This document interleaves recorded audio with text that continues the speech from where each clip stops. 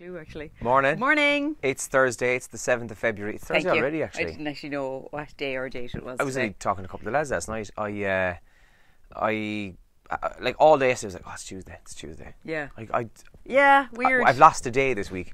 Um, Um, today is going to be very wet, though. That much I can tell you now. It's going to be very wet across all parts of the county later on today. We're expecting uh, very heavy showers both into the worse than afternoon. yesterday. It's gonna be and the worse than yesterday. I think on, on par. Yeah. oh, yeah. yesterday was awful. I came out of training last night and I was chatting to one of the lads we were having to because you know when you're inside the gym the gym is roasting. Yeah, like. yeah. So I came out in there and the next we were having the chat and we opened the door of the gym and I was like, oh shit! I was still in shorts and t-shirt. I had no jumper on or anything. I got drowned going to the car last night. So Yeah. Anyway, that's my first world problem for you this morning.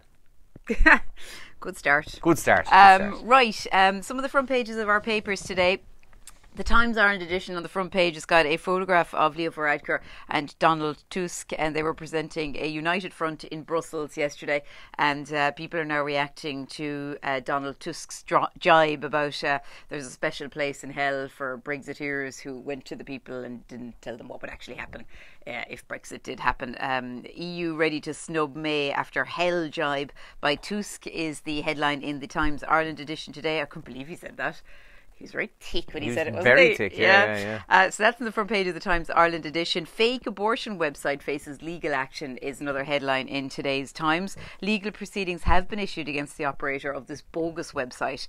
Uh, it's posting uh, or it's posing as an official HSE site and um, giving women apparently giving women advice about um, abortion. So that's on the front page of the Times Ireland edition. I'm kind of giggling to myself here at the photograph though. It's kind of like Leo Varadkar's almost kind of saying to Donald Tusk, "Oh man, I can't believe you said that." I wouldn't have said Did you that. actually just I say wouldn't that? have gone there. uh, Um, doesn't it? Doesn't Donald Tusk look like um, Niles from Frasier? He does a little. Yeah. Actually, he looks he looks like Niles, what, what Niles would look like now. Yeah, and and, yeah. and it's almost like Donald's reaction then to, to Leo is kind of like, "Mm, I did, yeah, I went there, totally went there.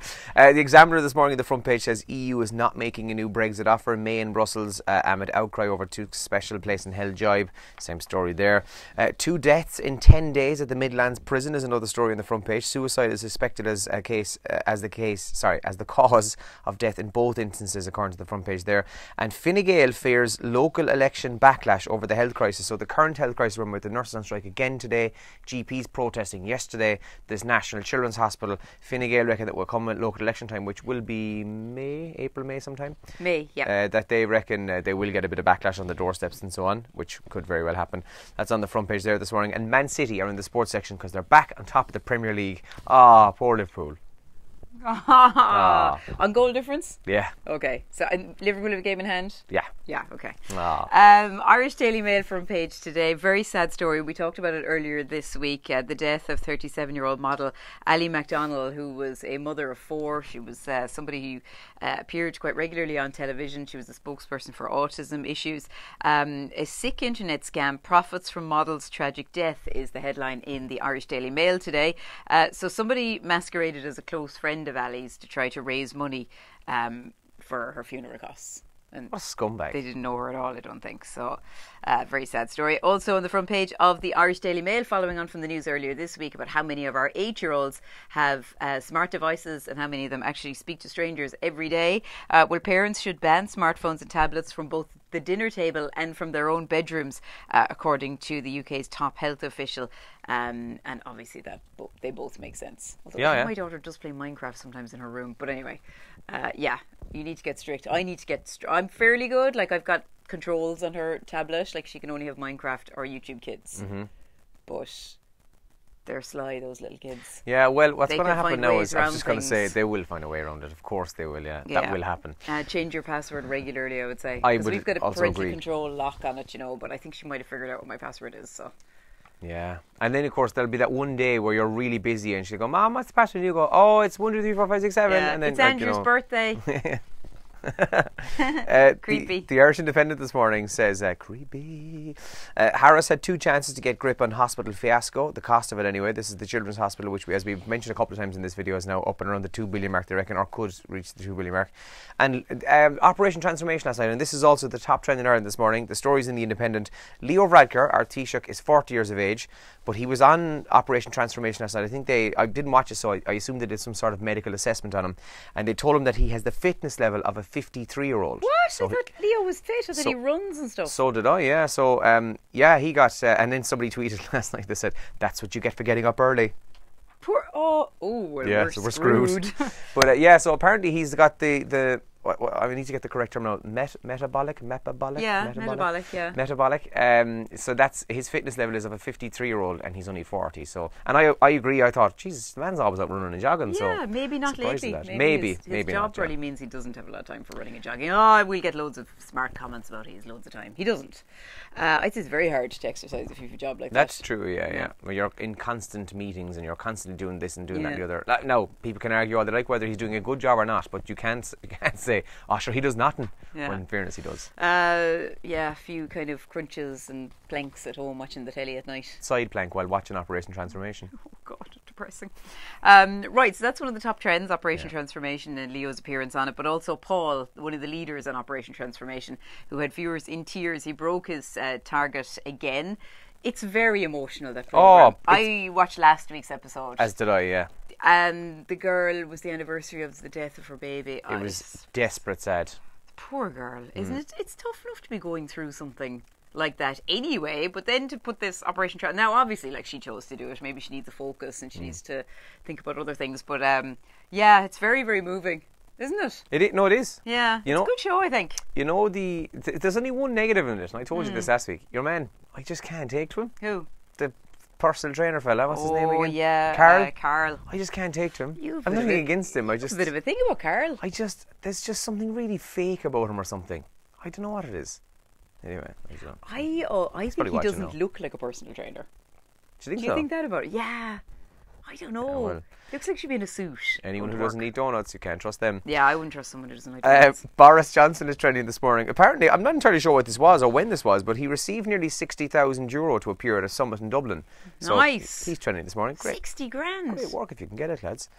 Uh, the Sigerson Cup is trending as well, so we now know the semi final lineups. It's UCD versus St Mary's Belfast and UCC versus NUI Galway. And then El Clasico. El Clasico. So, uh, yeah, Barcelona and Madrid uh, drew 1 all last night, so that's trending too. and People talking about that. I saw some stat this morning. I, again, I could be wrong on this, so correct me if I am wrong. But I think Serg- Sergio Ramos, the Real Madrid captain, uh, broke a new record last night for Wait, can I guess? Most, most yellow or red yeah, cards? yeah, yeah, Mo- Yeah. most bookings in Yeah. in a derby or whatever. This it is is. rough. Would you have him in your team? Yes, I would. would you go for a drink with the guy? Absolutely not. He's a total knob. He's cute, actually, though, as well, just on a really shallow, superficial s- level. one sec there. It's really you can't do that. Sorry, he's. You can't not- objectify he's men like horrible. He's ugly. Okay. Oh no, you can't do that either. What can I say? Okay, he's a decent, talented footballer. He's fine Leave coat of that. lead. Sorry, we had okay? to have that out, It's okay. out there. Uh, right, we're going to talk about um, weddings and bridesmaids, and this is going to be your life now for Yeah, it, Couple al- years. it already is my life. I'm engaged ten days. I can't imagine that um, you and Una will be the types to get stressed about wedding. You're both chilled, right? I think of the two of us, I'll probably get more stressed Yeah, than she would. I think Una's so, yeah. pretty chilled. I don't think she'll care if this happens. But a wedding guest has been left baffled after she was asked to be a bridesmaid by a woman who hasn't spoken to her in years. I think this is weird, and I can actually give you an example of someone that we know. Can't name them now because Oh, I'll get in whisper trouble. me. Uh, I'll tell you afterwards.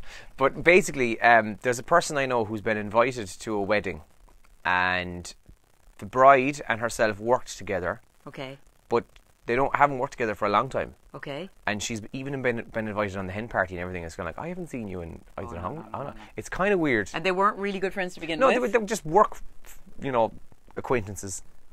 Maybe work friends, maybe you can say. But outside of work, like they wouldn't particularly have been like, "Hey, girl, how are you? Not too bad, girl. You're gonna go for coffee." That kind of crack. That didn't yeah, happen. yeah, so yeah. it's kind of weird. I thought, but there you go.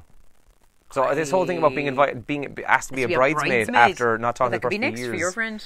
That could be the next step in all this. it could be. It's creepy, isn't it? It is kinda um, creepy. There was another story in the paper as well yesterday about um, a mother-in-law. So, a mother of the groom Mm-hmm. was keeping her outfit secret from the bride, and it turned out the reason she wasn't because it was white. Why? Like, like I'm sorry, but I don't care who you are, No, what your relationship lousy. is with your son or your daughter or your daughter-in-law or whatever. Like everybody knows that the bride is going to wear white, so why why risk it? Why Yeah. kind of go? I'm going to wear white as well. I'm going to go to a wedding wearing white. Why? Yeah, I don't get it either. I have been at weddings, and I'm like, why would I just wouldn't have worn it? Like, Oh, that's stupid. yeah. So anyway, um, that's something people are talking about online. Yeah. Uh, the Poundland engagement rings. So we had. Um, who were the first lads doing them? Yeah. Oh, sorry. Pound, Poundland are Dealz. Oh, Yeah, right, yeah. okay. They're, they're the UK. Oh, they're, they're, they're the big bosses in the UK. Yeah. Perfect. Well, the engagement rings have been snapped up by Brits across the country. Um, they sold 20,000 of them, these 150 engagement, one euro 50. They're probably a pound, were they? Uh, engagement rings in uh, Yeah. Poundland and Dealz. So 20,000 people have been proposed to with Poundland rings. Yeah. Now I, d- I did not? I did hear a story of a guy last week who bought one of these 150 rings, proposed to his girlfriend, and now they're gone to pick out the ar- the, the actual The ring, which is fine. But uh, Cool. yeah, I can say, I'd say some fellas are kind of going, ah, that'll do her. She'll be grand." Valentine's Day. I'm going to get one for myself. Okay, we're we going. We're live on air in a minute, and uh, we hope you have a great Thursday. Keep in touch with us here, or you can chat to us uh, on 083 300 3300. Morning. Good luck. Morning. Good luck.